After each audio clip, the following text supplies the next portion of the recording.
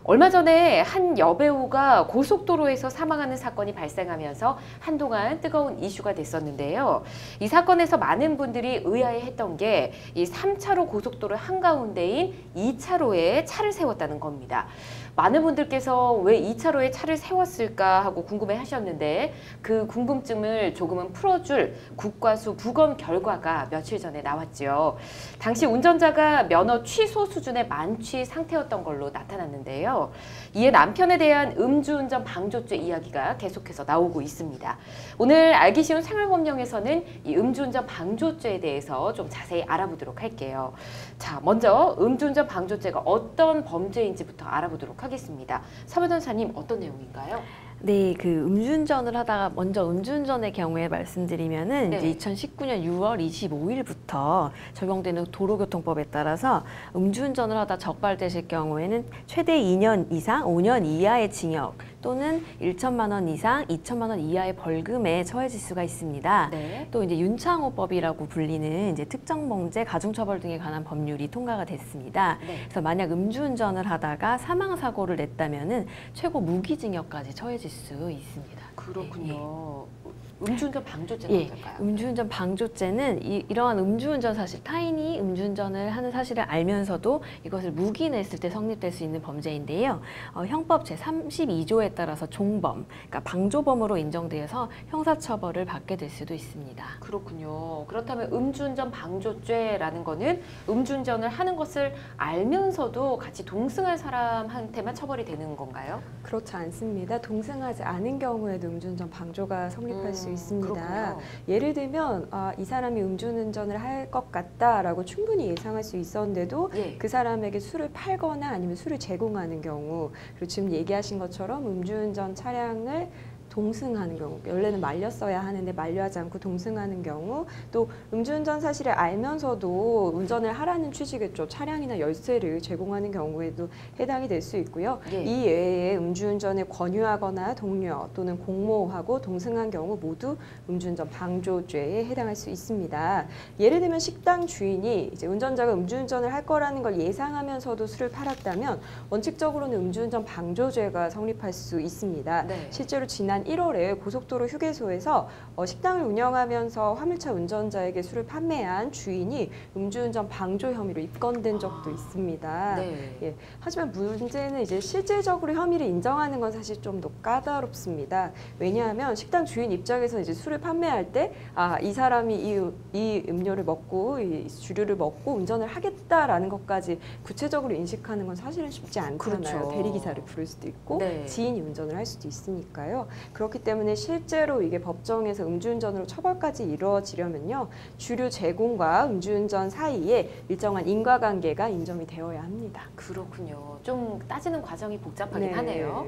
자, 얼마 전 기사를 보니까요. 또 이런 일이 있었습니다. 대리운전 기사가 목적지 부근에서 이제 고객하고 시비가 붙어서 요금 문제로 어, 그냥 고객을 차에 버려두고 가는 바람에 이제 주차장까지 남은 몇 미터 거리를 이 고객이 직접 운전을 해서 문제 가 된 경우가 있었는데 자, 이럴 경우 이 대리운전 기사도 음주운전 방조죄에 해당하지 않을까 싶은데요. 어, 예, 맞습니다. 그런 경우도 법조계에서는 음주운전 방조에 해당할 수 있다고 지적을 하고 있는데요. 네. 실제로 술에 취한 고객을 차에 두고 현장을 떠난 대리기사, 대리운전기사에게 음주운전 방조죄가 인정돼서 네. 벌금형을 선고받은 사례가 있습니다. 예. 예. 대리기사분이 조금 악의적이었다면은 요금 문제로 이제 시비가 붙자 그 목적지 부근에 있는 그 폭이 좁은 골목도로에 이제 차를 정차하고 가버리신 거예요. 시동을 예. 끄시고. 그러니까 이제 그, 고- 그 차에 타고 있던 고객이 어, 차를 이렇게 놔- 놔두고 가면 어떡하냐 하니까 이제 알아서 하시라고 하면서 자리를 음. 뜨니까 이제 그 당황한 이제 고객이 이제 시동을 걸고 음주운전을 할- 되니까. 예, 하신 거죠. 네. 예. 그렇게 돼갖고 음주운전 적발이 되셨는데, 그러니까 그러면서 또 경찰에 이제 신고를 해가지고 적발이 되게끔 하셨다고 합니다. 아, 너무하네요. 예. 그런 와중에 이제 고객도 화가 났을 테니 그쵸. 음주운전을 했지만 그 블랙박스에 남아 있는 영상이나 이제 녹음 같은 아. 것을 이제 남아 있었으니까요. 예. 그걸 가지고 그 대리 기사도 방조했다라고 음. 이제 신고를 같이 해가지고 네. 그래서 대리운전에게 음주운전 방조 혐의가 돼서 벌금 130만 원을 선고한 사례가 있습니다. 예. 그렇군요. 어, 벌금형을 선고받았다 이런 얘기를 예, 해주셨는데 이게 벌금형에서 끝나는 건지 아니면 더 무거운 처벌을 받을 수도 있는 건지 음주운전 방조죄 어느 정도까지일까요? 실제로 벌금형보다 더 무거운 징역형이 선고되는 것도 가능합니다. 아. 이제 우리가 서두부터 음주운전 방조라는 용어를 사용하고 있는데 방조라는 걸 쉽게 이야기하면 돕는다는 겁니다. 그래서 직접 내가 운전전 음주운전을 하지 않았지만 음주운전 행위를 한 사람을 적극적으로 도왔기 때문에 처벌을 하는 거고 예. 실제 형사법에서는 방조범도 본범 에 준해서 처벌하도록 되어 있습니다.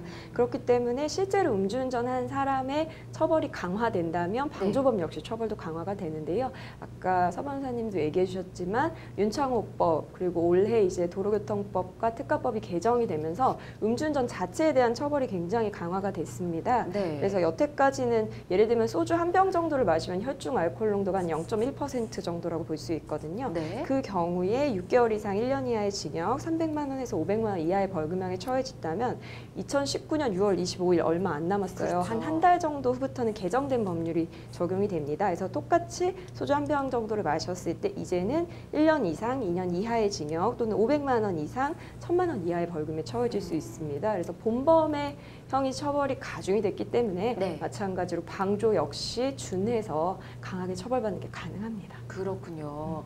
아, 더, 뭐, 물론 당연히 지금까지도 조심하셔야 되지만 앞으로 더 신경 써서 네. 조심하셔야 될 것 같습니다. 자, 그러면 저희는 다시 앞에 나눴던 이야기로 돌아가서 한 여배우의 안타까운 교통사고, 음주에 의해 발생했다는 것이 밝혀졌는데 함께 동승한 남편이 처음에는 아내가 술을 마셨는지 모르겠다라고 얘기했다고 합니다. 근데 부검 결과 이게 면허 취소 수준에 해당할 만큼 술을 많이 마신 걸로 나타났기 때문에 몰랐다고 하기는 좀 어려울 것 같고요. 그렇기 때문에 남 편에 대한 음주운전 방조죄 이야기가 나오고 있으면서 또 하나 이야기가 흘러나오고 있는 게 바로 이 사고 당사자들의 처벌 수위가 어떻게 될까, 어느 정도 영향을 미칠까라는 겁니다. 이 국과수 부검 결과 어떤 영향을 미칠까요? 예, 그 사망한 일단 운전자의 경우에는 음주가 인정됐다고 하더라도 이미 사망한 상태이기 때문에 그렇죠. 예, 검찰에서는 아마 이제 공소권 없는 처분을 내릴 것입니다. 네. 당시 근데 2차로에 이제 세워진 운전자의 차를 보고서 3차로를 달리던 차가 정차하면서 맞아요. 그 2차로, 3차로 차량의 뒤에 달려오던 택시가 또 이제 2차로로 핸들을 꺾었고 그러면서 또 후속 사고가 계속 일어났거든요. 그렇죠. 근데 과연 이제 그 국가서 부검 결과에 따라서 운전자를 친 택시 기사나 그 다른 SUV 차량의 운전자가 어떤 처벌을 받을지는 사고 이제 당사자들의 그 처벌수에 영향을 당연히 미치기 때문에 어 그 전문가들 의견이 엇갈리고 있는 상태인데요. 네. 일단 사고 장소가 고속도로이고 그 고속도로 운전자는 전방 주시 의무가 있고 또 제한 속도를 유지해야 되고요. 그리고 차간 거리를 또 일정하게 유지를 해야 되는 그런 의무 등이 있기 때문에 그거에 따라서 과실 유무가 이제 결정될 것이고요. 어, 형사처벌에 있어서는 그런 부분이 이제 그, 사, 그 피해자가 갑자기 도로 중간에 차를 세워서 사고를 유발했기 때문에 그런 네. 부분은 정상 참작이 될 여지가 이- 있습니다.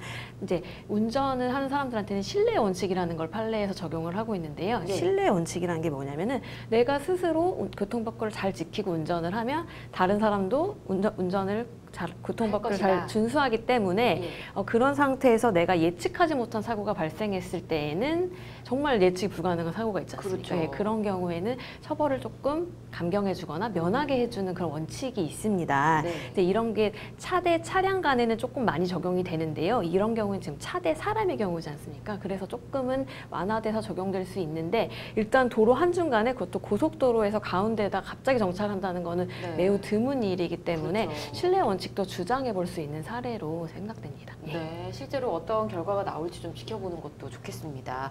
자, 술을 마시고 운전하는 거 당연히 해서는 안 되는 행동이지만 술을 마시고 운전하려는 사람을 부추기거나 말리지 않는 행동도 절대 해서는 안 되는 행동이라는 것 여러분 꼭 기억해 주시기 바랍니다.